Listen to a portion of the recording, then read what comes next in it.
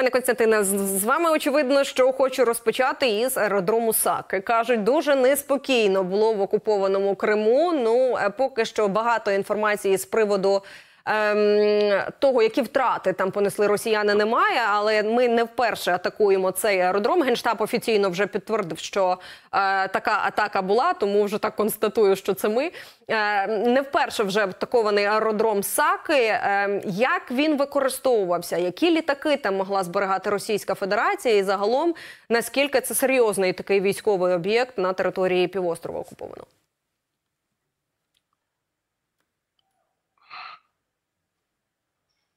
Немає зв'язку, пане Константине, ви не чуєте? Я зараз зараз чую, зараз вже чую. Так, я розпитую вас про аеродром Саки. Проте кажу, що ми вже не вперше його атакуємо. Наскільки це серйозний об'єкт, що зберігали там росіяни? Які там потенційно могли бути літаки? Ми цей аеродром вже, якщо я не помиляюсь, четвертий раз атакуємо. Угу. А в цьому тільки в цьому році другий раз. Е, там були літаки 43-й 43 авіаційний полк бомбардувальної авіації. Це були Су-30, це були е, Су-24. Саме з цих літаків, ну Су-24 це в основному розвідники, які літають там е, південно-західний, там трохи там, ну скоріш західний напрямок. Вони хочуть контролювати, якщо не можуть контролювати там кораблями, то вони хочуть контролювати, хоча б з повітря, те, що там коїться в цій, в цій зоні. Оці проход наших всіх, сухогрузів, таке інше. Вони там навіть з цього аеродрому намагалися замінувати е, гірло Дуная. Там щось вони там е, робили таке. Їх там один чи два су 24 були збиті. Ну, щось таке. Е, тобто, е, це е, один із основних аеродромів, які використовуються росіянами. Але що здесь тут цікаво? Ну, по-перше, їх там перед атакою їх там налікувалось десь 15 чи 14 літаків. Саме з Су-30 СМ там було десь близько 10 літаків, і десь 5 було су 24 Невідомо в якому вони всі були в стані, але е, це ну бойові літаки. Е, будемо чекати підтвердження, чи були вражені літаки, чи не були вражені. Але е, в саках там останнім часом було посилене ППО для того, щоб його якось захищати. Якось не ну, дуже. І, і думаю, що там щось щось ще було з ППО. Те, що там е, зачепили склад з боєприпасами, це однозначно, тому що там всі пишуть, що там вибухало дуже пафосно, фейерверк був краще китайського. Е, що цікаво ще, що на цьому тижні це третій аеродром. Так, Я ми зараз ще... поговоримо, пане Константине, ще про ті. Дайте доточню про, про саки. Перше, що працювало? Атакамси. А друге, що така за система е, ППО там у росіян може стояти, що вона е, не справляється по факту? А яка справляється? Я не знаю, яка справляється. Ну я не думаю, що там було с 500 скоріше там було с 400 або с 300 угу. але е, це не має значення, тому що е, шота шота пропускає атакамси. Я думаю, що там було не тільки атакамси, тому що там ще були е, оця формулювання генштабу. Вона така е, цікава, е, що злагоджена робота з деяких не деяких сил, я не пам'ятаю, як там. Ну тобто, там було, думаю, не тільки атака, все там думаю, були ще БПЛА, може ще щось. Ну удар а, дуже комбіновано могла бути так? Комбінована атака, тому що там ще в Євпаторії щось вибухало. А це не просто так, це не, не то, що там просто залетіло. а Там були якісь військові цілі, по яким ми били. Ну, стежимо. Звісно, ви згадали ще про атаку на інші ем, аеродроми Російської Федерації. Зокрема, у ніч проти 22 лютого була атака на ем, Морозовськ. Ну і є певна інформація да про те, що там було уражено. Зокрема, там ЗРК С-300-400, ем, район стоянки літака Суд 34 Я ну Треба розібратися, е, що кажуть аналітики, чи був він уражений, чи ні. Злітно-посадкова смуга пошкоджена, склад паливно-мастильних матеріалів. Чи серйозний це улов? Ну, перше, С-300 С-400. За весь цей час Сирський десь е, зовсім нещодавно повідомляв, що цих комплексів вже знищено від 30 до 40 штук. Ну, різні різні е, ступені ушкодження, але 30-40 штук це дуже серйозна величина навіть для Росії. Е, це перше добре. Друге, склад паливно-мастильних матеріалів це е, ГСМ. Це дуже добре, тому що якщо там в нього влучили, то його відновити ну майже неможливо. Це робити треба по-новому. А якщо робити по-новому, це час. Е, ушкодження злітно-посадкової смуги це не дуже довго, але це все час. Ну, всі ці враження по аеродромам вони вимушують, е, по-перше, вимушують їх підійматися в повітря, раз, а потім їм треба десь сідати.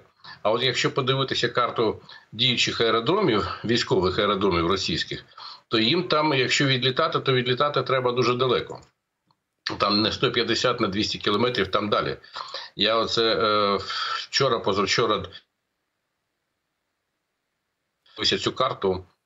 Е, і, і дуже е, був такий е, в такому стані незрозумілості. А звідки ж вони тепер будуть літати? Тобто їм зараз треба під, підлітати під час атаки, потім е, сідати десь і е, очікувати нову атаку. Це дуже велике напруження для технічного персоналу, для пілотів, для всіх. І е, організаційно це ну такий такий стан, мабуть, там десь панічний, тому що е, не готові, мабуть, і аеродроми за 200-300 кілометрів приймати ці літаки. А якщо вони там будуть е, збиратися там десь під Ліпецьком чи там будуть там е, в Дягілєво сідати. Ну це досить далеко для того, щоб виконувати в тому об'ємі е, функції ураження, які вони там збираються робити. Пане Костянтине, дивіться, ця карта це ті аеродроми, з яких росіяни е, луплять по Україні. Ну е, є де нам працювати, скажу так. Ну там бачите, там дуже багато білоруської білоруської аеродромів. Да? Е, вони зараз не використовуються для цього. Угу. Ну там вистачає на території Російської Федерації, окрім Білорусі. частина, вірніше, да, да. А а от ця частина, вона така. Е, от, Там дуже велика кількість значків, але це не не всі аеродроми діючі. Там є ґрунтові аеродроми, там е, ну, там є Приморськ-Ахтарськ, там вони діють. Е, під Волгоградом там є аеродром, але там не дуже велика посадкова смуга. Тобто там є проблеми, де їм розташовуватися зараз. Пане Костянтина, ви казали про ще один уражений якийсь аеродром. Ви казали, що та не, не Морозов з комісаками єдиними. Що Міллеров. ще? Так, розкажіть. Міллерова. На 20-го числа там був удар по Міллерова. Це аеродром, з якого злітають саме е, Су-34 і і літають з кабами до нас. Я не розумію, що у нас зв'язком. Чи мене чутно? Ні, Я вас добре чую. Я бачу, що він переривається, очевидно, можливо, світло, але ми вас чуємо. Продовжуйте. Е, е, так от був вражений цей аеродром. Там нема, е, судячи з усього, якихось серйозних вражень літаків, але пошкоджена аеродромна структура, пошкоджений там якісь ангари, якісь ушкодження є. І це дуже добре, тому що за тиждень е, така е, команда від'їжджайте, відповзайте від нас, відповзайте. Пане Костянтине, допоможіть розібратися, що відбувається із оцими передислокаціями російських тушок. Ми бачимо кожен вечір повідомлення про те, що ну їх достатньо велика якась концентрація на різних аеродромах знаходиться. Зокрема, Оленія ем, Енгельс. Вчора була інформація про те, що злетіло їх там у кількості, мені здається, семи штук. Уже була інформація ввечері. Потім вони сіли. Що це за маневри? Чи готуються вони можливо до нового ракетного обстрілу? Ну, ось е, давайте згадаємо 29 е, грудня минулого року. Е, повітряна атака, по особливо там по Києву була. Тоді було задіяно 20 ту 95 Потім їх кількість зменшувалась, зменшувалась, дійшла до 15. Е, три були там десь на далекому сході, і е, це от три ці машини повернулися до цієї групировки, яка розташовується на Олені і на Енгельсі. На Енгельс вони залітають для того, щоб е, туди прилітають Іл-76. вони привозять саме ці ракети Х-101. Е, е, е, Сідає Ту-95, його споряджують цими ракетами. Потім він відлітає на Оленю, прилітає наступна партія. Ну, це дуже серйозно у нас відслідковується, тому ми розуміємо, де що і як. Зараз, наскільки я там пам'ятаю, сім літаків в Енгельсі і е, ні, збрехав, 5 літаків в Енгельсі і 13 літаків на Оленії. От вони виконують тренувальні польоти для того, щоб може е, е, зробити новий якийсь тактичний е, крок, е, як вони зробили оці атаки, коли був ушкоджений Ахмадет і ще один роддом.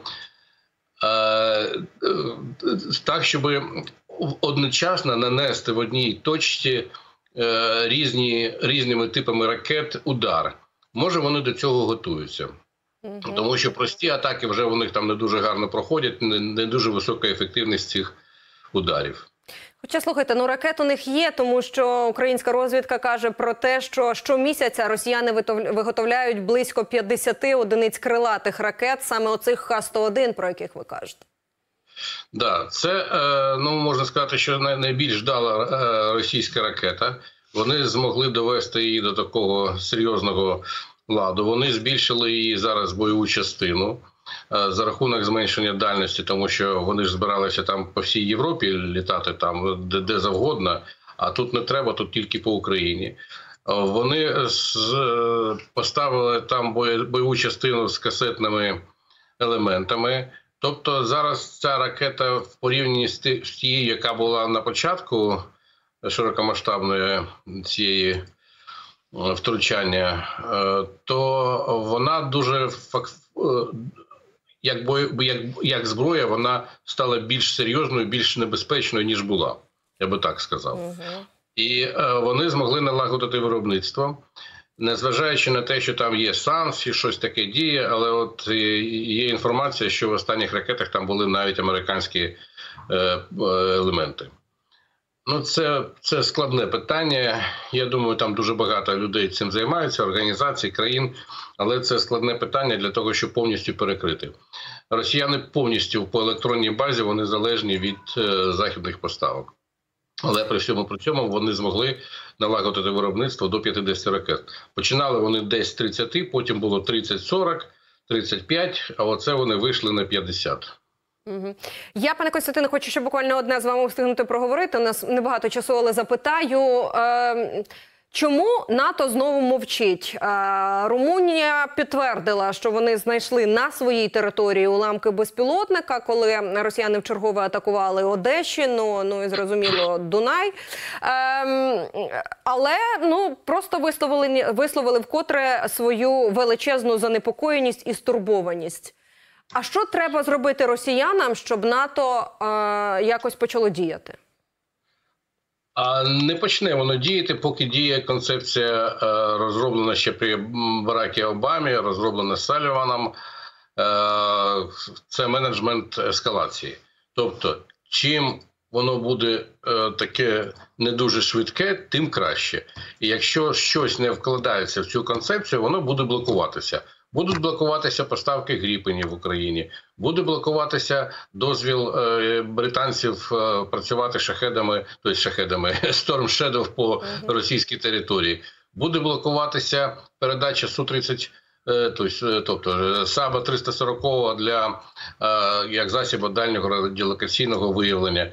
Будуть буде блокуватися все, що не входить в цю концепцію. Навіть удар по Ахмадєту він е, не вимусив американців. Вони офіційно про це заявили, що це ніякого значення мати не буде.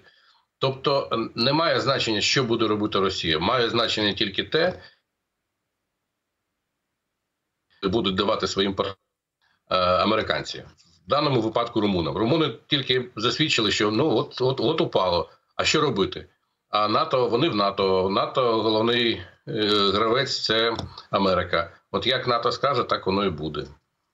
В Америці ж не впало. Дякую вам, пане Константине Величезне, що ви долучилися. Константин Криволап, авіаційний експерт, був нашим гостем. Дякую вам дуже. Дякую вам на все добре.